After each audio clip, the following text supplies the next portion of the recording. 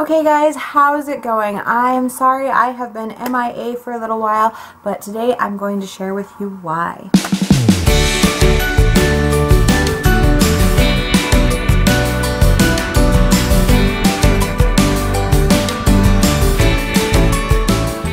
Okay guys, so the last couple weeks I have been having a hard time. I have felt like I didn't want to do anything. I had zero motivation for anything. I haven't been able to sleep. I have been exhausted all the time during the day.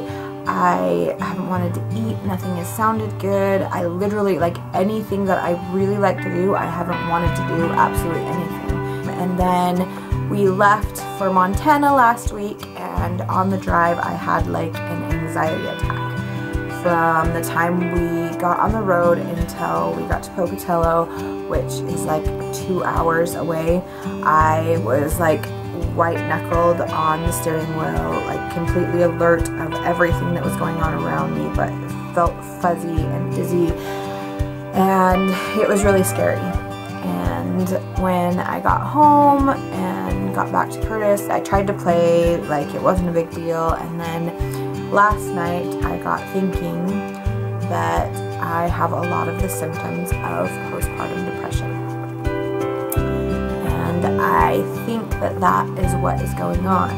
And I started diving into postpartum depression and what the effects of that are and what the symptoms are. And I took a couple quizzes. And it's very possible that I have a mild form of postpartum depression. Um, one in 10 women have postpartum depression, and actually, probably more women do than are recognized because a lot of us just write it off. It doesn't have to be that you have had it with every pregnancy. This is my third pregnancy, and this is the first time I have had anything like this happen. I am generally a very happy person. I am a go getter. I like to do things. I like to be out and busy all the time and so this was really, really weird for me. I knew that something was wrong.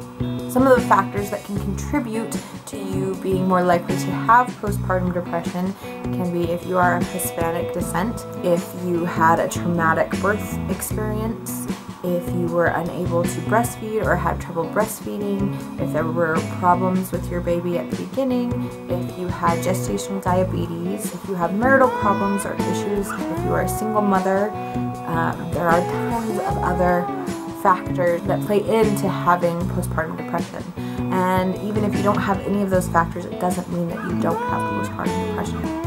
If you are feeling sad or irritable or just feel off it's worth it to talk to someone and especially to talk to your doctor to make sure that you are being taken care of in the way that you need. Like I said, for me, it was a lack of sleep and I had been kind of irritable and kind of off since the beginning, but it kind of culminated in this last couple weeks where I could not get myself to do anything. I could not get myself to vlog. I could not get myself to play with my kids. I could not get myself to make dinner. I didn't want to go and coach, which is something that I absolutely love. I didn't want to go to the gym. I didn't want to watch TV. I didn't want to flip through my phone. I didn't want to do anything except for to lay down and curl up with my baby and just lay there and do nothing. Like absolutely nothing. And I knew that something was wrong. These are just my side effects. Some women experience much, much worse than this, where they experience hallucinations, they experience deep sadness, where they cry all the time. It can be in the form of you having feelings of wanting to harm yourself or others and that isn't normal and those ones are especially important to contact your doctor right away. Um, postpartum depression isn't anything to be ashamed of. Through my studies in school, I know that the issue with depression is, is that certain chemicals are not being created or taken up by your body and your brain.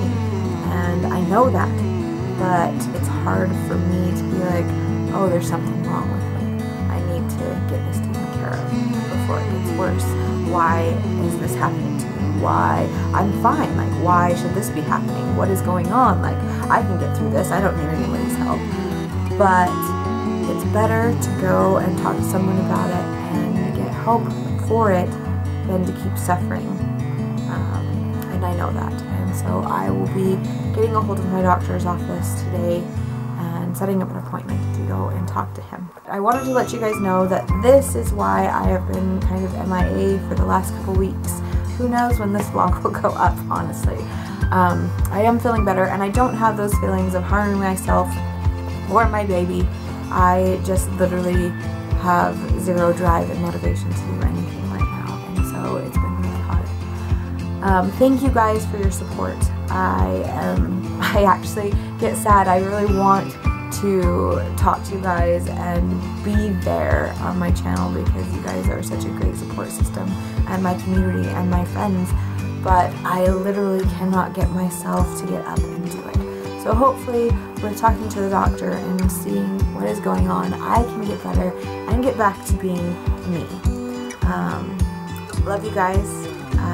Hope that this helps anyone who has any thoughts or thinks that they may have postpartum depression. I will keep you guys updated. Thanks so much for watching and see you next time.